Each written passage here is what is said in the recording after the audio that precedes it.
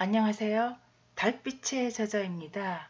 오늘은 아네모네입니다. 1970년 신성일 어맹란 주연의 아네모네 마담 영화의 주제곡입니다. 이 아네모네 꽃말은 허무한 사랑, 이룰 수 없는 사랑, 기다림, 이별 후의 슬픈 심정 등인데요. 정두수 선생님께서는 이 아네모네에 모두 다 그렸습니다. 그럼 제가 불러보겠습니다. 아네모네는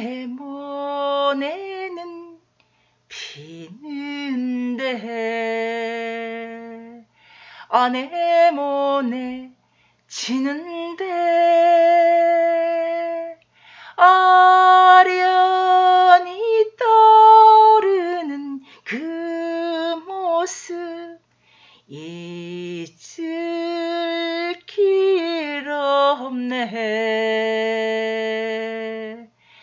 해가 져도 달이 떠도 가슴 깊이 새겨진 허무한 그 사랑을 전할 길은 없는가?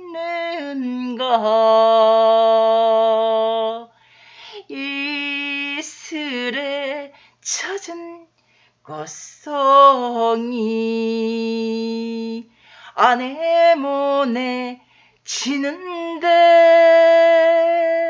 별빛에 피어나서 쓸쓸히 시들 줄이야. 맘 바쳐 그 사람을 사모하고 있지만 허무한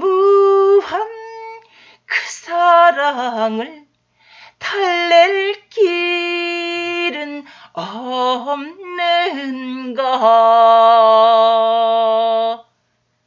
감사합니다. 아내문에 많이 많이 불러주세요. 달빛의 저자였습니다.